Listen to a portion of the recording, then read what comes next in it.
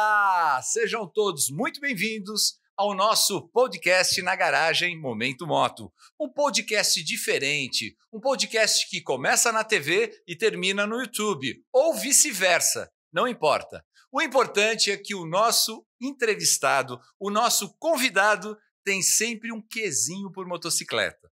E o nosso convidado de hoje é um cara muito bacana. Ele é jornalista, deputado federal. Ele foi o político mais votado no ano de 2014. Eu, inclusive, votei nele. E ele é motociclista. Celso Russumano. O nosso podcast é tão diferenciado que vocês vão ver como o Celso Russumano veio aqui. Ele veio de motocicleta. Olha só que bacana.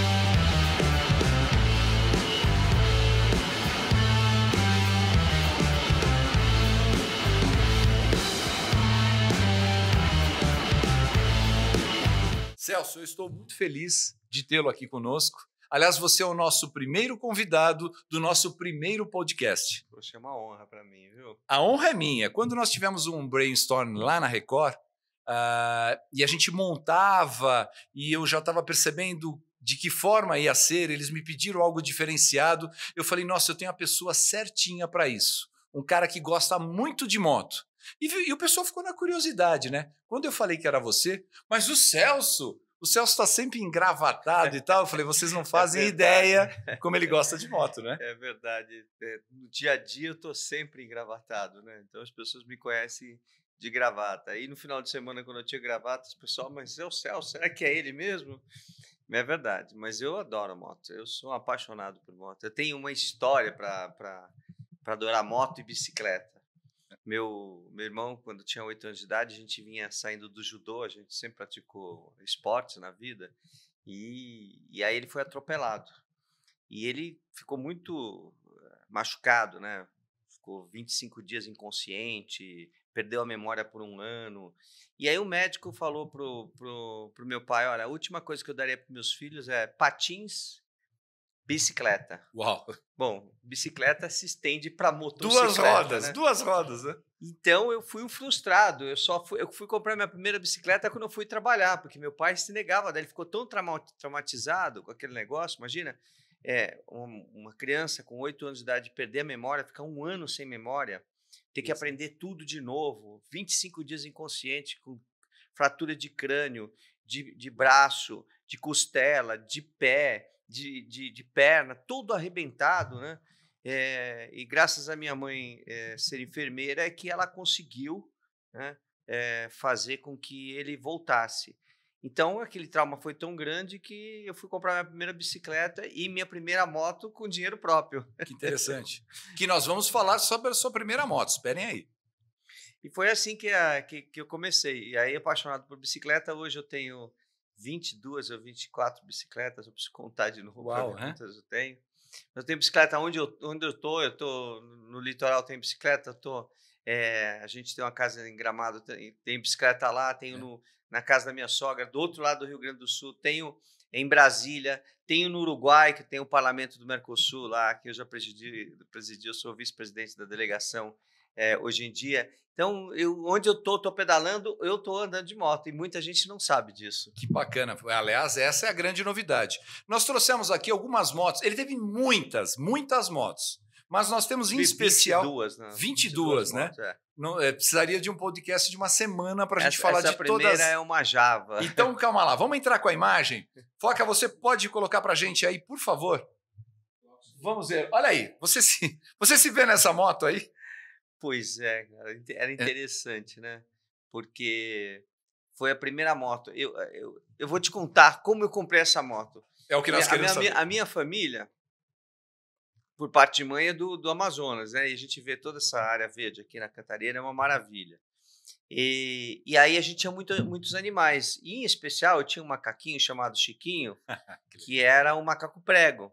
Naquela época, gente, não tinha legislação que proibisse você ter animais silvestres na sua casa. E não tinha então, tráfico de animais. É, e não tinha. E ainda, o mais interessante, a família da, da minha mãe, os meus primos lá no, no Pará, eles vivem no, no, meio da mata, né? São fazendas.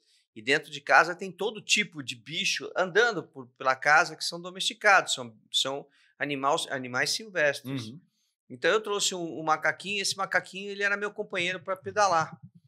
E um dia eu estava pedalando e me parou, passou um cara com, com um carro, um Galaxy bonito, maravilhoso, etc. Tal, e parou e, um empresário com muito dinheiro e aí se apaixonou pelo macaquinho, queria comprar, e eu dizia que eu não queria vender, ele queria comprar, e começou a aumentar o preço e, e oferecer, oferecer. E aí eu falei uma hora, não, sabia o que fazer, ele peguei o telefone, não tinha celular naquela época, né? Foi até um orelhão para ligar para meu pai. Pai, e aí? É, aí o meu pai, não, não, não vende, não. Mas ele foi aumentando o preço, chegou uma hora, de novo. O dinheiro que ele queria pagar no macaquinho era para comprar um carro. Caramba. Novo, zero quilômetro.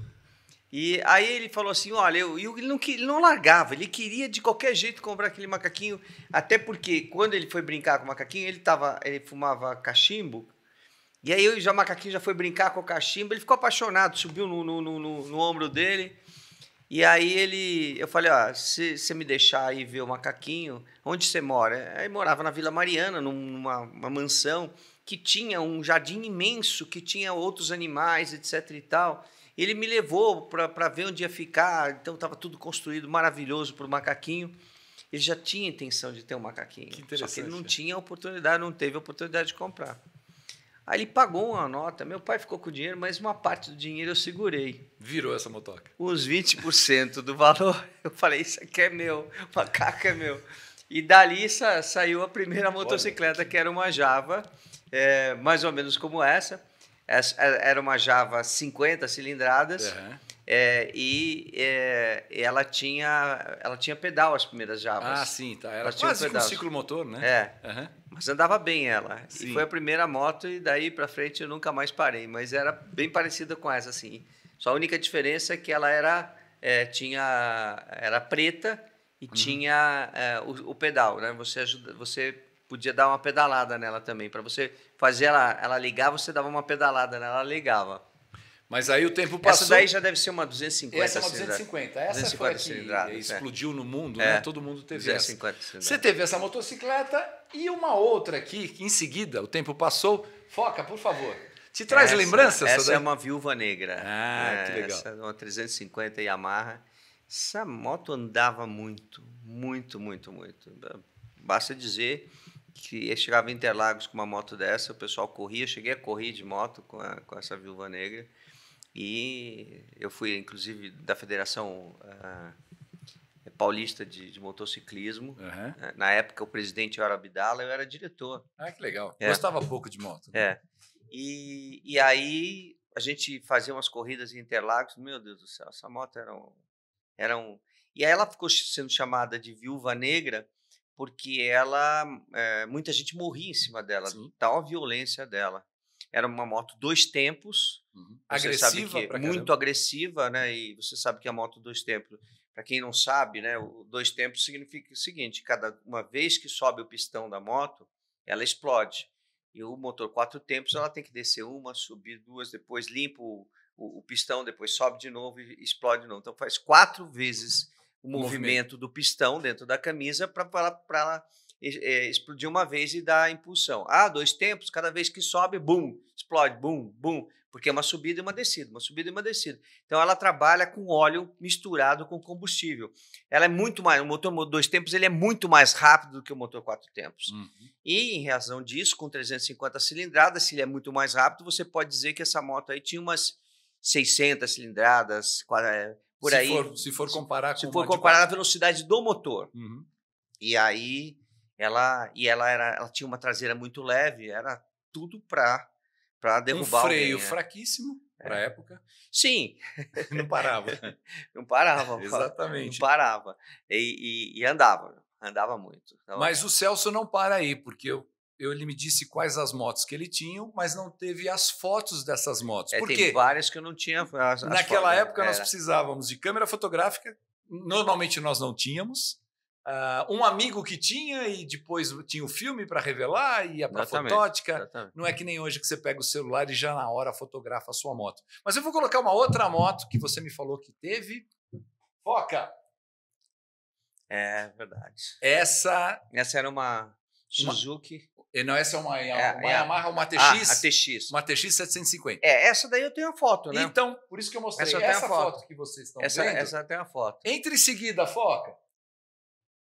Olha É. o garotão aí. Essa, é aquela mesma isso daí, a- isso- essa aí é na Vila Mariana, sua mulher conhece bem. esse- Exatamente. Eu tô vendo ali, né, ó. Tem uma- um segredo aqui, depois a gente conta. Ah, Depois, ó, depois ele conta o segredo, depois ele conta. Depois eu conto. Então vamos lá. São Paulo, né, marcado por essa É, calçada. você tá vendo lá atrás uma variante, né? uma variante. Nós temos um Fusca ali, um Fuscão. Lá atrás um Fiat 147 Exatamente. e provavelmente um Passat ou uma Brasília na outra parte ali, né? Que ano mais ou menos isso, Celso? Isso mais ou menos 76, mais ou menos, 77. É. Aquela casa ali, um estilo alemão ou ele É, é, eu acho Né? que essa casa ainda existe lá na Vila Mariana, viu? Isso era um prédio né? recém. é, tava em moda, tá vendo? Esse tipo de piso aí. Tinham É. acabado de inventar o piso com a- o símbolo da cidade de São, do estado de São Paulo. paralelepípedo na É. rua, né? Exatamente. Foca, entra com a próxima. Aí, Aí o garotão É. com óculos Pois escuros. é, você sabe que naquela época É. a gente não usava capacete. Capacete, exatamente. Não usava, usava óculos e não Uhum. usava capacete. Uma loucura, né? Porque eu andei anos e anos e anos com moto sem capacete. Depois é que veio né, a obrigatoriedade. Em 82, verdade, 81, gente, 82 veio. É, na verdade, a gente não tinha nem capacete para vender. Não é que a gente, ah, o cara não andava com Importado capacete. e não caro. Tinha, não tinha nem capacete para vender. Quando muito, o pessoal pegava uns capacetes assim é, de nazista só para fazer, né, tipo soldado e punha na cabeça, mas era para fazer um, um Fantasia. charme, um charme. Fantasia É. pura, né? É, depois, né, com o tempo foi aumentando a quantidade de motocicletas, muitas motocicletas, e, e aí o pessoal começou a se acidentar, muita gente tinha fratura de crânio e a óbito por causa disso, aí veio a obrigatoriedade.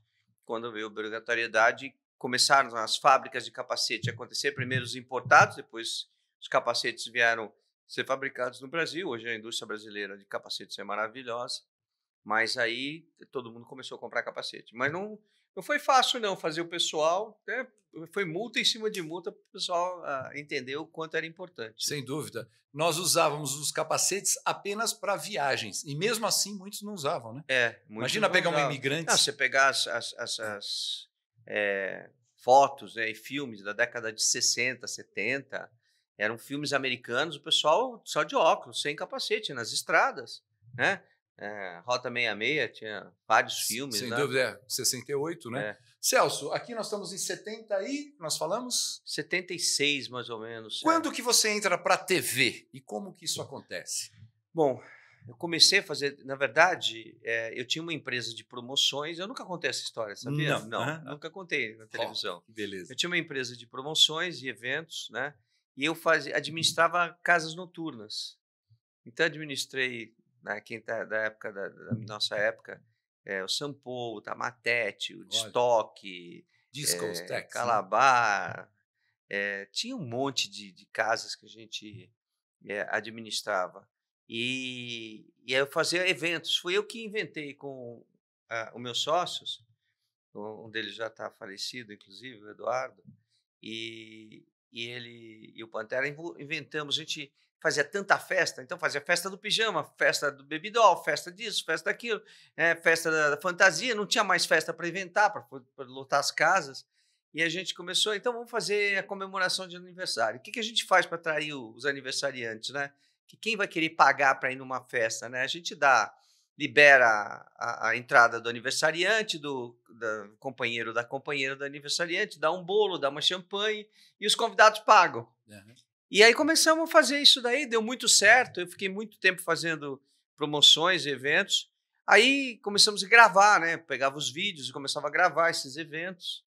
E aí um dia o, o Luiz Cláudio, um amigo meu, que era produtor da, da TV Gazeta, vai, me encontra e fala assim: ah, por que a gente não faz um programa de televisão eh, das baladas de São Paulo? Né?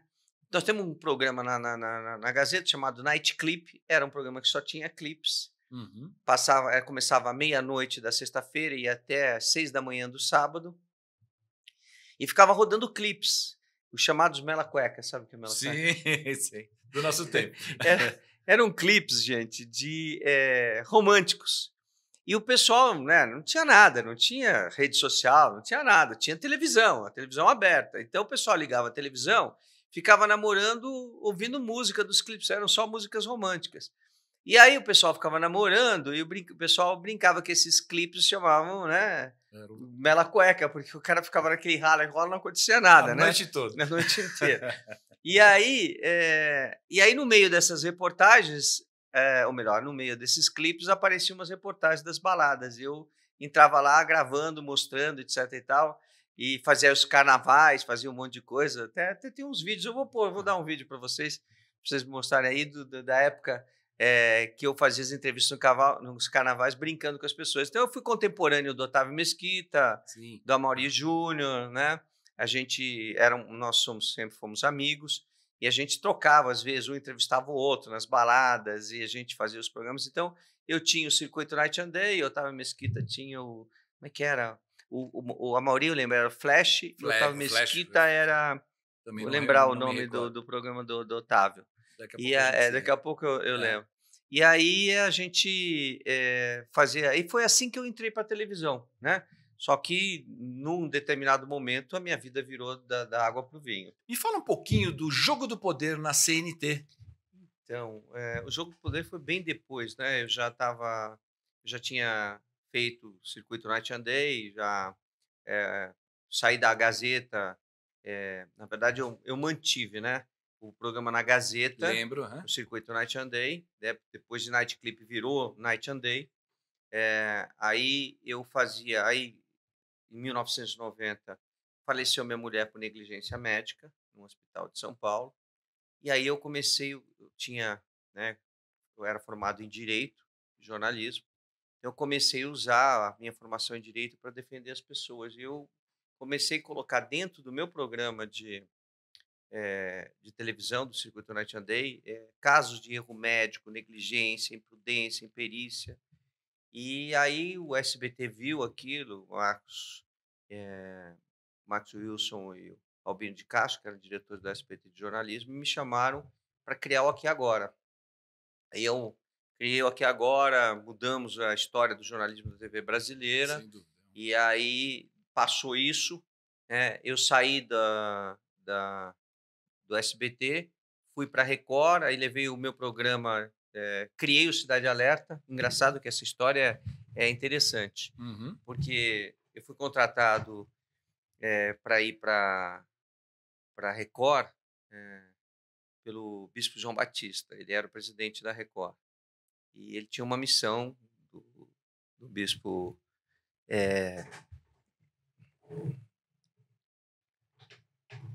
não lembro do, Edir? Não, não, não, era outro, mas vamos falar do Edir. E ele tinha uma missão do Bispo Edir Macedo de fazer, é, de me levar para lá. Uhum. E aí eu fui, eu cheguei na Record logo que eles tinham adquirido a Record. E, e aí, para fazer um jornal, né, é, no estilo do Aqui Agora. Sim. E quem estava trabalhando lá como diretor é, de produção, conteúdo, etc e tal, era o Lafon. E o Lafon era o diretor artístico, ele disse para mim assim: "Ah, nós precisamos fazer um jornal aqui". Eu falei: "Bom, mas quem tem para fazer o jornal? Tem eu e você por enquanto. montar a equipe". a equipe é essa. Montar a equipe. E aí a gente foi ver, não tinha nem estrutura. Eu fui na, na Barra Funda, onde é hoje a Record, para ver é, para o Bispo Macedo as instalações da Jovem Pan, que era lá a Jovem Pan, ele comprou essas instalações posteriormente. E, e aí eu criamos lá o jornal. Mas aí estava sentado eu e ele, como, como você está sentado aqui comigo. Como é que vai ser o nome de jornal? Ele falava um nome, ele falava outro, falava nada, a gente, nenhum dos dois concordava com os nomes. Aí eu falei: o que, que você acha de Cidade em Alerta? Aí ele falou: a Cidade em Alerta eu acho grande, mas Cidade Alerta eu gosto. Então vamos batizar de Cidade Alerta, é Cidade Alerta. E aí batizamos o jornal, né? Eu já era deputado, tinha que ir para Brasília. Então ficou o Ney Gonçalves Dias fazendo a apresentação, depois o João Leite Neto, teve vários apresentadores. Hoje o Bate está lá fazendo a apresentação do, do Cidade Alerta, muito bem feita, por sinal. E, e aí eu venho com esse tempo todo. Só que no meio desse caminho todo, uh, aí a, a CNT, você não pode fazer um programa de entrevistas, um programa político, etc, tal, em Brasília. Eu conversei com a Record, a Record disse que não tinha problema nenhum. E aí eu passei a fazer o Jogo do Poder, que era um, um programa de entrevistas. Foi lá que a gente é, se sem, conheceu, sem dúvida, é. ficamos amigos, etc e tal. E, e aí eu fazia as entrevistas, todas eram gravadas em Brasília com as autoridades, como eu já tinha conhecimento, estava dentro do Congresso Nacional, conhecia todo mundo, ficou fácil. Foi um programa muito gostoso de fazer. Eu fazia no programa semanal e eu fiz durante bastante, bastante tempo, viu, esse que, programa. Que bacana. Nós vamos voltar um pouquinho ao assunto das motocicletas. É, eu tenho um amigo que ele é consultor do programa e ele te conhece quando você, desde a época que você deixava lá na Barra Funda, lá no Casarini, no Tucano, a sua RD para reparos. Ele é o Silvestre Pascoal. Ai, que legal. Se você não se lembra dele, ele falou: Dino, fala para ele do programa que era feito no Hotel de la Volpe, é na verdade, Caneca. É. Era o circuito Andei. Se ele lembra de uma história de um ET, você lembra que história? Lembro, claro. Você pode lembro. me contar essa história do ET? Então, na verdade, é. gente, foi, foi descoberta uma cabeça, foi achada uma cabeça então, né, de, de, de, de osso que ninguém sabia identificar. A gente pegou é, é, cientistas, é, inclusive pesquisadores da USP, ninguém conseguia identificar aquele tipo de crânio. De crânio é? E eu resolvi levar aquilo para a televisão. E aproveitei que eu já era deputado e pedi para o, o comandante do, do tem é, a Força Aérea tem em Brasília o Comando de Defesa é, Aérea e lá. É, era o Osiris? É, não, o Osiris ele era diretor da, já na época, diretor da, da lá em São José dos Campos da, da Infraero, da Embraer, da Embraer, da Embraer. Embraer é. Mas ele tinha vivido uma situação com ETs. E eu resolvi juntar tudo. Que legal. Tinha um aí, ufólogo, Mário Rangel, também? Tinha. Me falaram. É. E aí tinha lá uh, em Brasília o Comando de Defesa Aeroespacial, e, e aí eu fui, eu falei, olha, dá para a gente entrar nos arquivos, mostrar na televisão que ninguém nunca tinha mostrado na televisão. É. Mostrar os arquivos do, dos objetos voadores não identificados que a Força Aérea teve acesso e contato. E o, o, Osiris, quando era piloto, né? É, depois aí ele já nessa época já era presidente da, da Embraer, ele perseguiu um, um objeto voador não identificado. Nós, aí eu trouxe ele para entrevista, mostrei o crânio, Fui lá no, no, no Condada, é, Condata, Condata, Comando de Defesa Espacial, uma coisa assim. Eu, eu já, eu já lembro. Você tá. me pegou desprevenido é, aqui. Claro. É o... Era o Brigadeiro uh, José Carlos, eu lembro o nome dele. É. E aí nós mostramos os arquivos, abrimos os arquivos, mostramos os arquivos né, é, é, que, a, que a Força Aérea tem de perseguição com jatos, com os caças da Força Aérea, mas todas as vezes que foi algum objeto voador não identificado foi perseguido, sumia, porque uhum. a velocidade deles era muito maior do que a velocidade do som, que um caça é, tem a velocidade do som. Eu até fui, é, até a Força Aérea me deu o prazer de pilotar um, um Mirage. Eu sou piloto, né, desde os 17 anos de idade. Então, eu, eu fiz essa reportagem. Essa reportagem ficou conhecida no mundo todo. Eu não pensei que ia dar uma, uma repercussão tão grande. Até recebi prêmios, aí pessoal, comecei a conhecer associações é, de observadores de objetos voadores não identificados e uma série de coisas. E aquilo explodiu. E, e eu, e aí, lá no.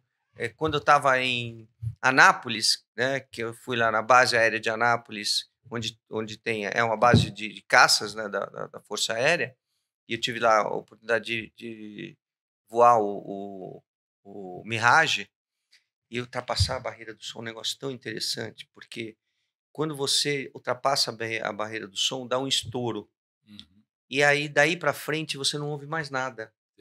Fica mudo, porque a velocidade do som é menor do que a velocidade da, do, do, do jato, do, do caça. Então você não ouve nada. É um estrondo muito é, forte, né? E o barulho fica assim 20, 20 segundos, 25 segundos para trás. Há um delay, né? É. Você não ouve nada. É parece que você. E está numa velocidade absurda, né? Mais de 1.200 km por hora. e, e você não ouve nada. E aí eu, eu entrevistando o, na época o, era um coronel da Força Aérea que era o, o comandante da, da, esquadrilha, da esquadrilha da, de caças, ele, ele relatou os, as perseguições que eles fizeram de objetos voadores não identificados. E isso ficou, né? Gente, o que a gente, o que eu estou falando aqui está nos anais da Força Aérea. Eu não estou inventando não. nada, eu não sou um louco é. desvarrido. É. É, eu ouvi, eu fiz um trabalho jornalístico, ouvi as pessoas, ouvi os relatos, Sim. ouvi relatos de pessoas que disseram que foram abduzidas. É, a gente ouve muito isso. Né? Agora, eu não posso dizer, eu não vi, né? Eu vi todos os relatos e todos os documentos, mas eu, eu pessoalmente nunca vi. Gostaria muito. Gostaria quando estou voando, etc. Tal, porque eu ainda vou. Quando eu estou voando, meu sonho era ver. Sim. nunca vi. Na realidade, é o meu também, né? Ah, vamos voltar um pouco às motos. A gente vai falar agora de uma Sete Galo muito especial que você tinha. Não temos a foto da sua, mas foca, entra com a Sete Galo aí só para o pessoal. Pois é, você não tem a foto da minha, mas era dessa cor. É mesmo? Acertei? É, exatamente. Só que a do Celso não era essa daí, era a Japalto. Explica pessoal. Então, na verdade, era uma dessa daí, só que ela tinha um motor Japalto, né?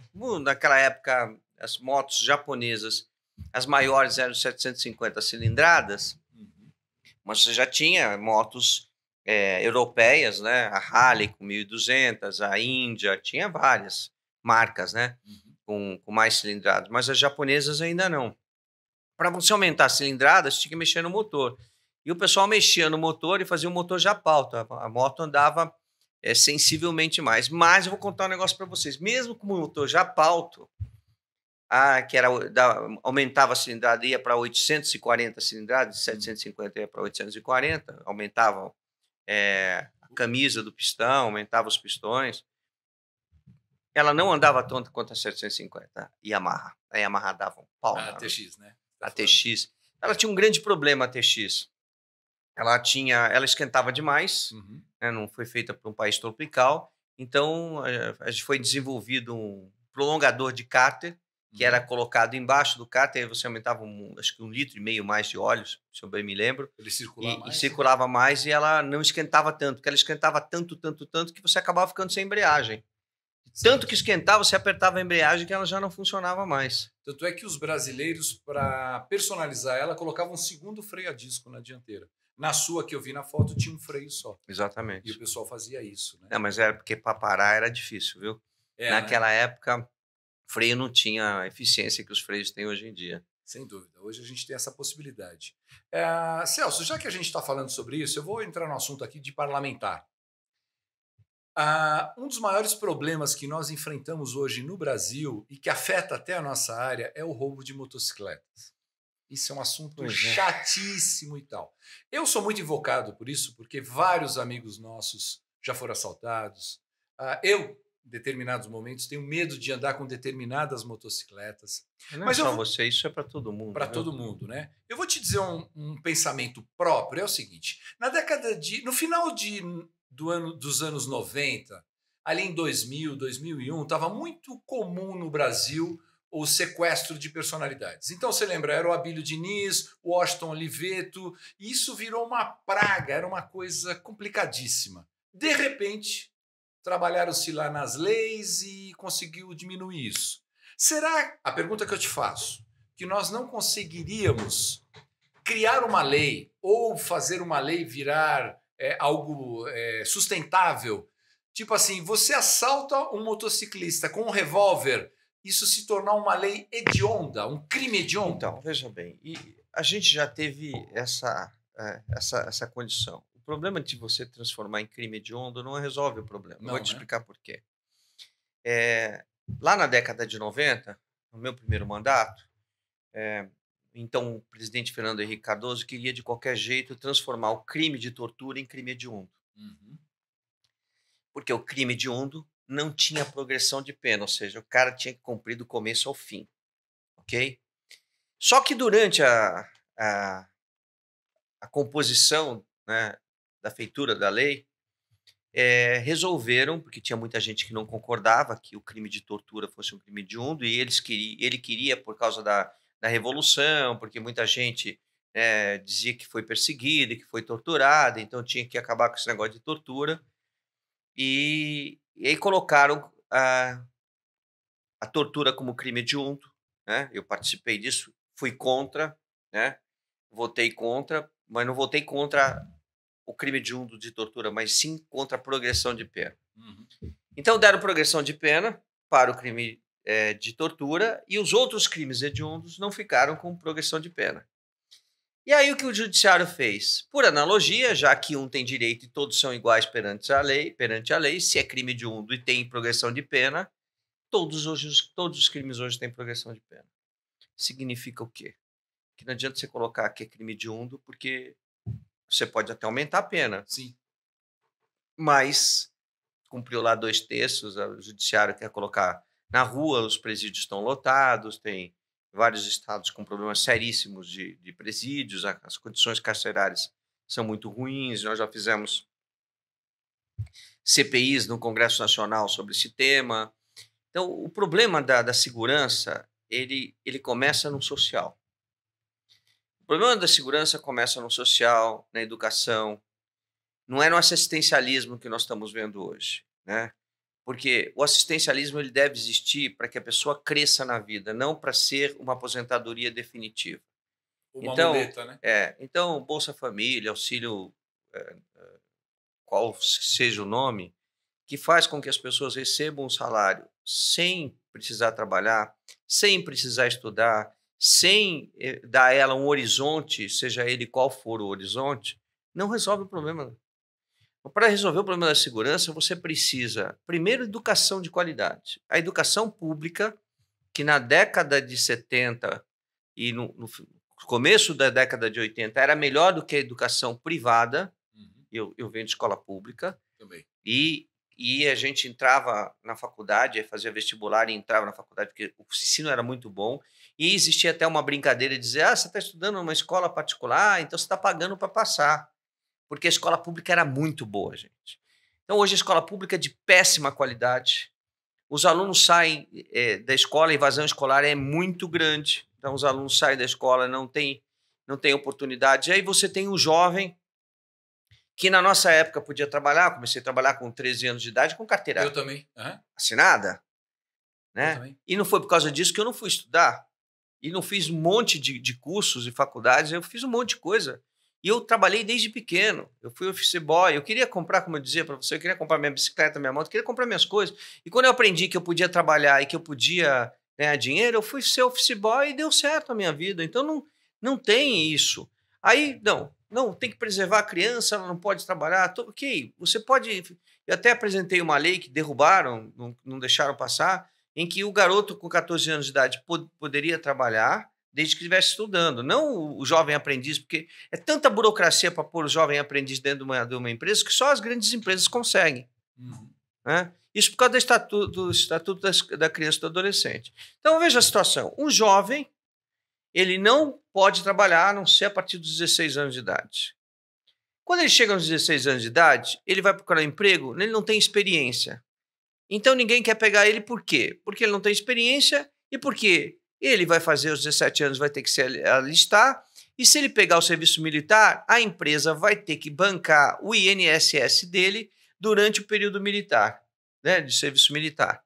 Então, as empresas não querem dar emprego. E aí, esse garoto, com 16 anos de idade, fica na porta das, das casas nas periferias. Geralmente, filho né, de uma mãe que o pai abandonou, que o pai é alcoólatra, né? ele não tem oportunidade. Só que do lado da casa dele tem um outro jovem, uhum.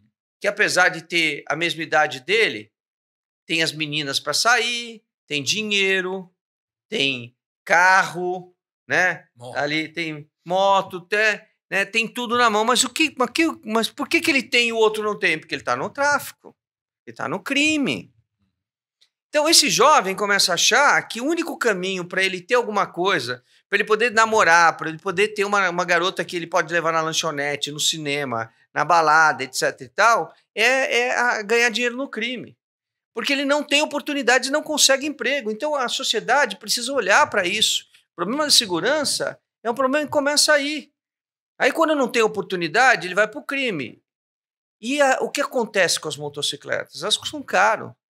São veículos de, de, de fácil é, é, acesso, porque você não tem um, um, blind, um vidro blindado, você, você acessa a pessoa com facilidade. E, e tem um mercado de peças de moto é, muito grande, peças de moto roubada. E quando a gente vai e compra nesse mercado, a gente está fazendo com que esse mercado continue, é, continue a existir. Então, você que está nos acompanhando e está nos assistindo agora, né, que acha que a peça da, da, da, da, da, da motocicleta é cara na, na original, e é cara, e não há razão para ser tão cara assim, né, porque se você importa, é muito mais barato. Então, é um, é um outro problema que a sociedade tem que enfrentar, né? Não é só de, ca de moto, de carro também, né? Vai e compra a peça, né? No mercado paralelo, você está dando margem para que a sua moto seja também roubada. Então, o problema é, dos assaltos com motocicleta, e eu também tenho esse receio, uhum. andando de moto, eu tenho esse receio, né, de, de, de ser assaltado, é o que você tem pela frente? Você tem pela frente uma sociedade que não teve oportunidade. Então, se você não dá oportunidade para esses jovens todos que estão aí, e cada vez mais, você está dando oportunidade para eles procurarem uma maneira de ganhar dinheiro. Está tudo errado.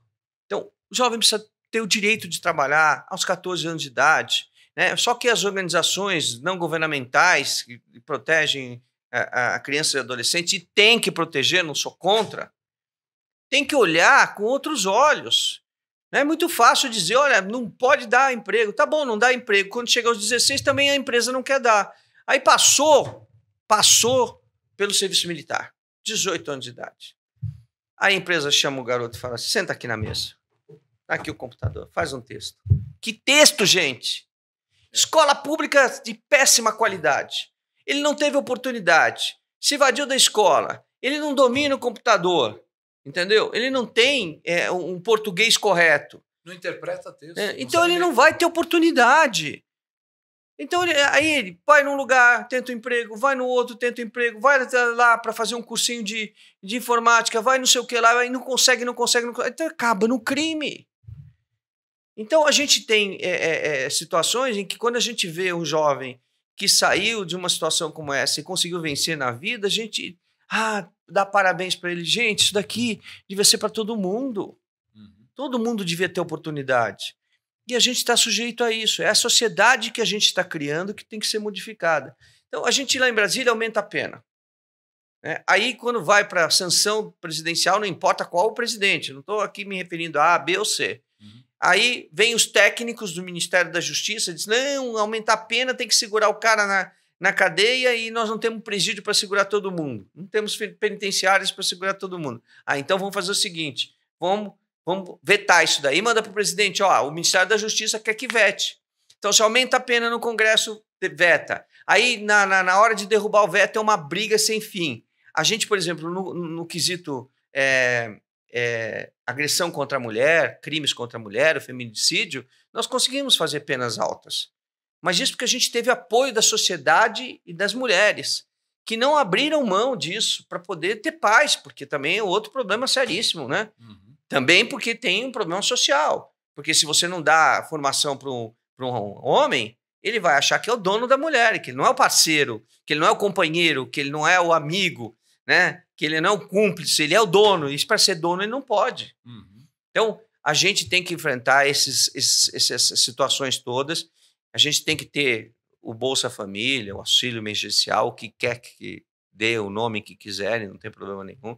Mas a gente tem que fazer com que essas pessoas que tenham essas condições, essa condição, que possam fazer cursos, que possam se especializar, que possam se qualificar, que possam crescer na vida para ter oportunidade.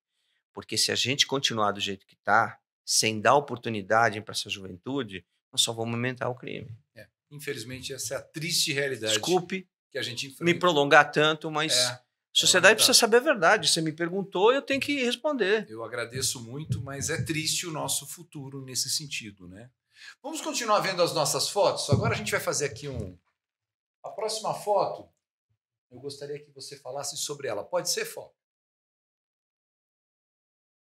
Aí. Aí tá aí. Você está com a Lovane, né? A Lovane. É ela gosta de moto?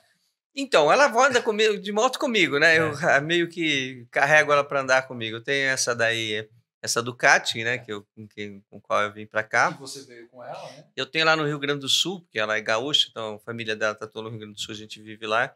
Eu tenho uma 500 Honda. Ah, legal. É. Qual- E Vamos na próxima foto, também você está com ela. Foca, por favor.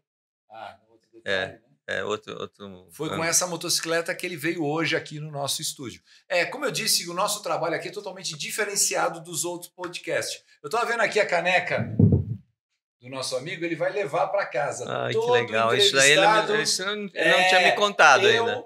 participei do podcast e eu já coloquei a data na sua que você vai levar e ela já está assinada, né? Vamos para a próxima foto.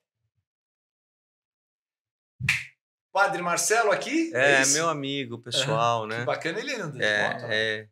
Eu nunca, não, nunca perguntei Eu isso gostaria ele. de saber, viu? eu vou descobrir. Eu te, descobre eu te- se, ele andar, a gente vai trazer. Mas aí foi o, Me fala dessa, meu dessa casamento. data. É, foi. bacana. foi o casamento. Eu fiquei viúvo, né? Por conta do- da infelicidade que eu tive Uhum. no meu primeiro casamento. E aí, quando a, a Luara, minha filha mais velha, eu tenho três netinhos dela, o Bernardo, de oito anos, o Henrico, de sete, e, e o pequenininho, o Roco, Roquinho, de dois anos agora. É, eu, depois de 14 anos, quando, a- ou melhor, quando ela já tinha 14 anos de idade, quando ela morreu, quando a mãe dela morreu, ela tinha três anos, eu me casei com a Lovane. E o padre Marcelo, ele fez poucos casamentos na vida até hoje. Pois é, É, interessante. um dos casamentos que ele fez foi o meu, e a amizade que a gente tem, uma amizade muito grande até hoje. Que bacana. Mas é Vamos foi para a próxima uma foto. maravilha. Essa é a parte que eu mais gosto. viu? Olha aí, família linda, hein? Então, aí tá a- os netinhos, né? É. A minha filha, a Sim. mais velha, a Luara. Aí tem o, o que tá lá do meu lado atrás, é o Bernardo, é, o Henrico do meio e o Roquinho. do É, o Roquinho já tá maior do que isso agora. Essa foto já tem acho que um ano e meio, dois anos. Isso lá- em, em Caraguatatuba, Ah, no, tá. é, no hotel do meu irmão. lá. Eu tive curiosidade de saber realmente onde foi esse local. É, no hotel do meu irmão. Hotel que fica na, na- bem de frente para a praia. Esse é o único hotel, acho que Aham. no litoral de São Paulo inteirinho, que fica na areia. É, é Brisa o nome do Pé hotel. na areia mesmo. Brisa, Brisa. Próxima foca. Aí o Celcinho, Celcinho, né? tá maior do que eu. Tá É. né? É, Eu tá. conheci o Celcinho bem Você garotinho, conheceu? É, garotinho, você conheceu? garotinho, é bem né? pequenininho. É, É, tá no exército, é te- tenente do segundo tenente do exército, tá? E gosta, tá gostando do que tá fazendo e Curte as motocicletas ou não? curte, só que ele eu preciso dar mais atenção para isso. E, Olha, é, ele curte, ele, ele, ele tem vontade, eu tenho que dar mais atenção para que ele, ele ande comigo, etc e tal. Tô pensando agora, primeiro, que a, vi- a vida foi uma correria depois que ele fez 18 anos de idade, faculdade de Direito, é, o Exército. Não deu tempo da gente parar ainda, eu trabalho demais também, sim, mas ele, ele tem que levar no sangue o que a gente tem, né? Esse trabalhar demais, como é que você co- consegue conciliar Brasília com gravação? Que dia que você grava na Record? Eu gravo de segunda ou de sexta, quando eu Aham. estou em São Paulo. Terça, quarta e quinta a gente tem votação em Brasília. Então, e sábado eu entro ao vivo, né? Sim. Sábado eu entro ao vivo. E, e aí, algumas segundas-feiras, eu- domingo eu tenho que ir para o Uruguai, porque a cada 20 dias eu tenho que estar no Uruguai por conta do parlamento do Mercosul. Então, eu vou no domingo, faço a sessão do, do parlamento na segunda-feira, terça-feira já vou para Brasília de novo. Ou seja, uma vida super corrida. É, né? então tem algumas segundas-feiras que eu não consigo gravar, eu tenho que acumular, correr. Aham. Trabalho assim umas 15 horas, 16 por dia. O trabalho enobrece o homem. Então Sem não é dúvida. fácil. É, Celcinho, nós aqui temos um momento muito especial na parte final do nosso podcast. O pessoal vai descobrir agora. Eu vou te dar um tempo para você lembrar qual foi o seu melhor momento de moto. Eu vou te contar o Ah. meu para que você se recorde dele. O meu melhor momento de moto foi uma época difícil da minha vida que as coisas não davam certo. Dificuldades, problemas, dor de cabeça, eu não conseguia raciocinar. Não raciocinava. Peguei a moto, arrumei a mochila e combinei com o pessoal. O meu pessoal é do Rio Grande do Sul também. Falei, ó, me aguardem aí, que eu preciso refrigerar um pouco as ideias. Eu vou para aí tentar resolver os meus problemas. Só o simples fato de eu já arrumar a mochila para viajar, eu já comecei a desligar-me dos problemas. Peguei estrada sentido ao sul, peguei a BR-101. Os problemas foram ficando estrada, para faço trás. direto essa estrada. Então, os, os problemas foram ficando para trás. Quando eu fiz a minha primeira parada de abastecimento, eu já estava cantando no capacete. Depois eu continuei a estrada, almocei, continuei a estrada. Quando eu estou entrando em Santa Catarina, numa tarde de verão, eu sou pego assim com uma chuva violentíssima, que eu não tive tempo de colocar a capa. Aquela chuva me molhou até a alma, me molhou a cueca e foi uma coisa assim, um- uma coisa refrescante. Foi um, um- um impacto muito grande e eu percebi que aquela chuva passou por mim. E nesse momento que a chuva passa por mim, eu olho de um lado do retrovisor e do outro eu vejo que tem um arco-íris, começando no retrovisor e terminando no outro. E nesse momento eu começo a chorar copiosamente dentro do capacete. Legal. Foi o meu melhor momento de moto. Você se lembra do seu melhor momento Eu, de moto? é, eu tenho muitos momentos. O né? melhor, o melhor. Tem que ser Mas o eu único. tenho uma para fazer uma comparação aí com o seu momento. Tem uma É. viagem que eu fiz. é, eu e um amigo meu, Machado Max. Ele na época ele era tenente da polícia militar e eu trabalhava no Detran. Uhum. E a gente, ele tinha uma 750 Honda e eu tinha a Yamaha. E nós fomos para o Rio de Janeiro de moto, pela estrada velha, ou seja, ali por baixo. Entramos pela. é, fizemos todo o litoral, etc. Fomos pela estrada velha e voltamos pelo, pelo litoral. E chovia demais na volta. Mas chovia demais, demais, demais, demais, demais, demais. Ele, inclusive, o Machado Marques, hoje é, é juiz é, da Justiça Militar aqui no estado de São Paulo Legal. mas a gente pegou uma chuva que eu nunca vou esquecer na minha vida. A gente andou 300 quilômetros debaixo de chuva, muita chuva. Subia, subia a serra ali por São José dos Campos, debaixo de chuva, debaixo de chuva. Quando chegou em São José dos Campos, ele virou para mim e falou assim: Não, eu vou parar por aqui, vou deixar a moto aqui no, no batalhão da Polícia Militar. Eu falei: Não, meu, você fica aí, eu vou, já tô arrebentado, molhado, como você colocou aí até as cuecas. Eu vou, já, já tô esculhambado mesmo, tudo molhado, a bota cheia de água, né? Não, você pisa, não é só o Clés, é água dentro da, da meia também. Aí eu falei, vou até São Paulo e vou até São Paulo. Essa, essa viagem foi sofrida, mas é uma, uma viagem que foi tão gostosa, tão gostosa, apesar de toda a chuva. E eu passava a mão no capacete assim, eu falava, por que, que não inventaram um limpador de, de, De para-brisa capacete, para o capa- capacete, né? para eu poder enxergar alguma, porque a chuva era muito forte. Era uma é, tempestade sem fim, o dia inteiro chorando e cho- chovendo. E de eram, saímos de manhã, chegamos de tão ruim o negócio que a gente chegou à- noite lá em São Paulo. Eu cheguei à noite, ele ficou em São José dos Campos. Mas ah, marcou, marcou. É Foi uma, inesquecível. é. né? Foi. É. Mas quando chove muito, você lava a alma mesmo, viu? Sem dúvida, essa é o tocante. Eu acho que a, a diferença né, de andar de carro Ó, gente, tem um biscoito aqui, ó. De... Olha, o, Momento moto, o MMzinho nosso aí. como um MMzinho aqui. A diferença de você andar de carro e andar de moto é grande nesse sentido, né? De moto você faz parte, você veste a motocicleta. Você se sente assim? Sem dúvida. É, né? Uhum. Moto é.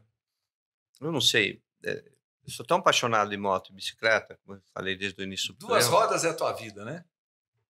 que quando eu subo numa moto eu me sinto livre, né? Ou numa bicicleta, de uma, uma tal liberdade que não, não- é inexplicável. Então você não consegue. Posso nem andar, gente, quando eu não tenho tempo. Uhum. Mas tem que estar na garagem. Olhando para ela. Se ela não estiver lá, aí tá ruim. Já que você tocou nessa parte, ah, você sabe que eu sou autor do livro Mototerapia, Vencendo Estresse sobre Duas Rodas.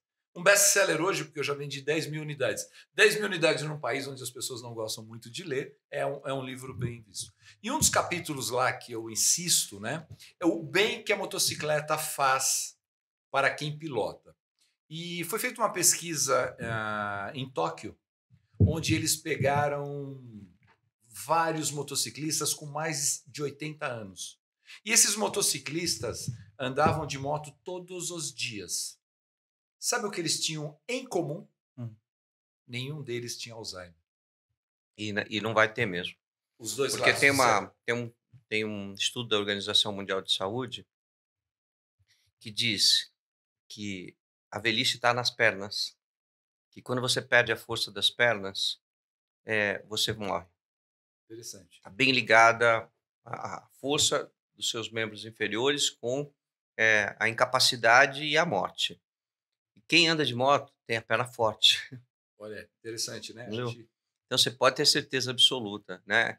É, por que não está Alzheimer? Porque você está preocupado o tempo todo com tudo que está acontecendo em volta de você. Então você está fazendo a mente trabalhar. Os dois lados. E está provado também, né, outro estudo diferente daquele primeiro, da Organização Mundial de Saúde, de que é, para você combater o Alzheimer, você precisa ter a sua mente trabalhando. E se você não tem a mente trabalhando né, na preocupação de tudo que você está vivendo, né, de estar tá equilibrado em cima da moto, de estar tá passando entre os carros, de estar tá viajando, de ter de encontrar algum imprevisto no meio do caminho, isso tudo faz com que o seu cérebro, seu cérebro trabalhe muito. Isso é importante, né? Nesse mesmo estudo diz que quando a pessoa está mais velha, se ela quer não ter Alzheimer, estude uma nova língua. Bacana também. Aprenda uma nova língua, entendeu? Uhum. Porque você vai pôr a sua mente para trabalhar. Então, eu acho que está muito certo isso. Não tinha que ser diferente, né? é, a moto te dá força nas pernas. Não quer ter problema com Alzheimer, aprenda uma nova língua e vá andar de motocicleta. É, ou, ou faça conta de matemática, ou faça palavras cruzadas, você tem que trabalhar a mente. Sem dúvida. Nós somos é. hoje um pouco preguiçosos é. nesse sentido. Né? Verdade. Né? Celso, nós vamos aqui encerrando esse nosso bate-papo tão tá gostoso. Esse é um podcast tão diferenciado que o dia que você quiser voltar, é só falar de novo, eu vou andar de moto aí na é serra. É só me avisar que a gente volta aqui, vou mandar um pouquinho aqui pela serra. Agradeço de coração a sua participação. Eu que agradeço. E esperamos que vocês tenham gostado do nosso primeiro podcast na Garagem com Momento Moto, que nós teremos mensalmente no nosso programa. Provavelmente todo primeiro domingo do mês, o nosso podcast vai começar na televisão e você vai poder continuar no YouTube. Um grande abraço a todos e obrigado, meu querido. Tchau, gente. Valeu, irmão.